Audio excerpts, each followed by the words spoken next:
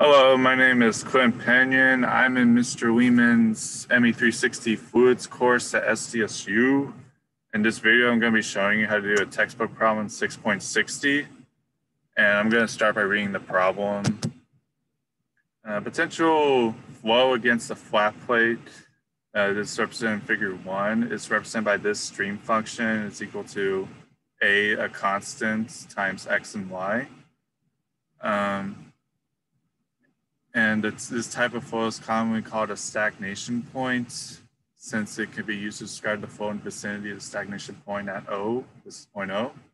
By adding a source of strength M at point O, stagnation point flow against a flat plate with a bump is obtained in figure two. Determine the relationship between the bump height H, the constant A, and the source strength M. All right, so I wrote out the, I drew the figures to help your understanding later, and I wrote out what we're trying to do in this problem. So in this problem, we're given a stream function, right?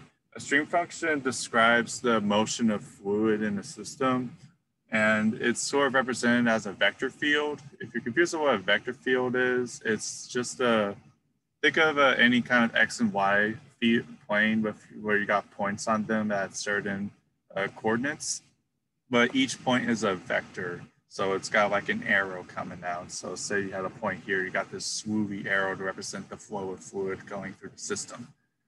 And adding this bump here kind of changes these vectors a little as seen how they kind of curve out sideways more, but you're still gonna have a stagnation point right here. And at your stagnation point, your vector, you don't, you have no vector there because it's completely resisted. So just imagine that at this point and this point, your stagnation points, your vector is going to be zero. All right, so we're going to, the way we're going to do this, the way we're going to do this problem is going to take the stream functions and find a stream function for this figure with the added bump there. And what this type of problem, if I could give it a category from class, I think the example was called uh, the superposition of basic point potential forces example. But uh, the, the general gist of it is you're going to have a new source function written out called source function is equal to psi uniform plus psi uh, source. Your psi source is given to you in the figure. It's at this point here. Your psi uniform is going to be very similar it's going to be the exact same as the figure one psi at uh, this point. Um, so to start the problem off, we're going to change the or this first stream function equation we were given in terms of circular coordinates because the vectors are represented in terms of your magnitude r and your direction theta. So we're going to turn this a of x a of x, y into circular coordinates. So what that means is x is going to be r cosine of theta, and your y is going to be r sine of theta, and your a is going to be a.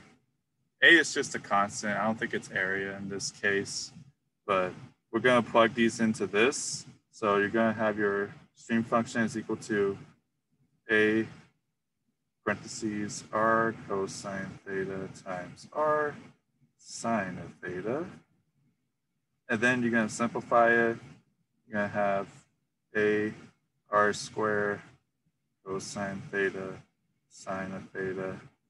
All right, so now we're going to use a double angle theorem to just simplify the equation more. So that what that's going to be, the formula I'm talking about is sine 2 theta is equal to 2 sine theta cosine theta. So then the, what this becomes now, your psi uniform.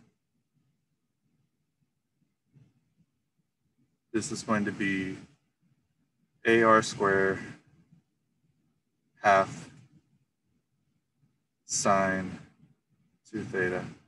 This is just a means to simplify things so we don't have to work with cosine and sine. It just makes it easier. And for the psi source, that's actually pretty easy. That's just a formula that was given to us in class. Uh, it was y source is equal to q over 2 pi uh, theta, just a big theta sign. And uh, I'm getting this version of the formula from the textbook. M and Q are equivalent. They're both flow rate VA, but since this is asking for source strength, I'm going to have the M in there. So it's going to be M over 2 pi theta. So now we're going to have a new stream equation, stream function. And that's going to be is equal to stream, the psi uniform plus the psi source. So it's going to be A, it's going to be, I'm going to put the, I'm going to put uniform first. I'm going to have AR squared half sine 2 theta plus this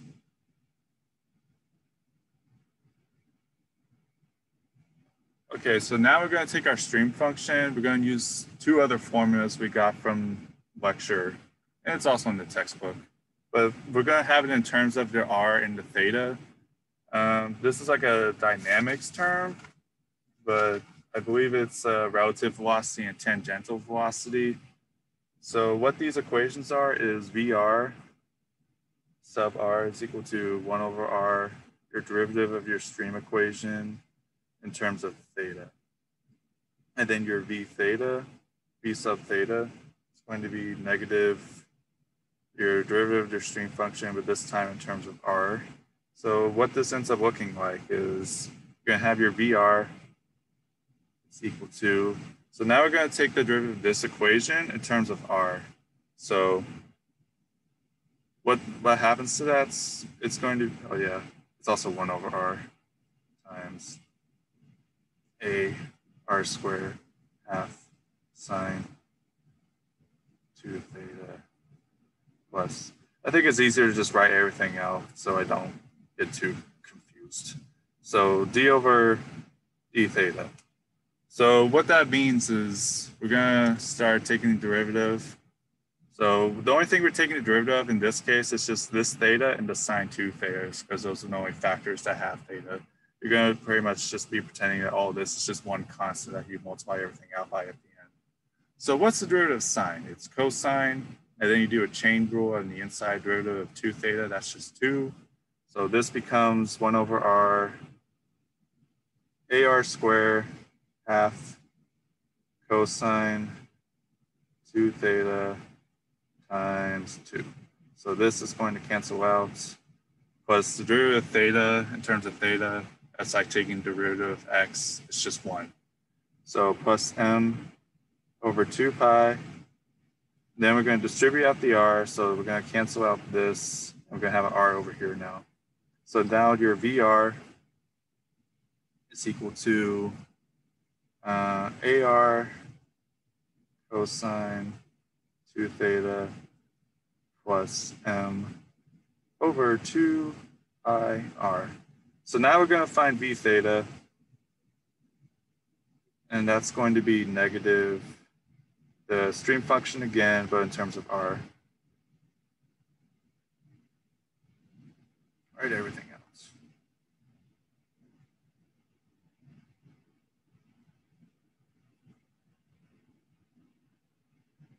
All right, so first off, looking at this side, there is no r attached to it. Ignore that. There's no r attached to it, so this just cancels out. It's like the taking derivative of one. But on this side, you got r here. The derivative of r squared, that's just 2r. So you're going to have negative a 2r over a half sine 2 theta. This cancels. So your v theta is just left with negative a r sine 2 theta. All right, so to get an equation that relates to these three factors, we're going to take the stagnation point here. So if you're just looking at the figure, you'd see that the stagnation point in terms of Cartesian xy coordinates, it's just going to be zero, mm, uh, your r, your radius. But if we want in terms of uh, circular coordinates, then then your saturation point will be at theta r. So it's going to be theta is equal to 90 degrees. It's equal to pi over 2 because it's uh, representing the origin. And then your R is just going to be H. So your saturation point is at pi over 2 H. All right, so now to get an equation that has these, at the saturation point, your stream function is zero, right? So if you use your V theta equation, everything's just gonna cancel out because you're just gonna have zeros equal to all this stuff. But at your VR equation, you have an added, you have an add sign here. So it's more segmented, so you actually create an equation from that. So we're gonna plug in the VR at the saturation point now. And that's going to get you zero is equal to A plug in HSR two times pi over two plus m over 2 pi times h. So this cancels out. The cosine of pi, that's just negative 1. So this side is going to be negative, so we can just move that to this side. So then you're going to have AH is equal to m over 2 pi times h. If you want in terms of h, if you want in terms of a, you can just divide everything by h, but if you want in terms of h, you're going to multiply this h out and divide by a. So then you're going to have h squared is equal to m over 2 pi times h. Yeah, that's an equation that relates these three factors. You can be finished here. You could also have it in terms of A if you wanted to.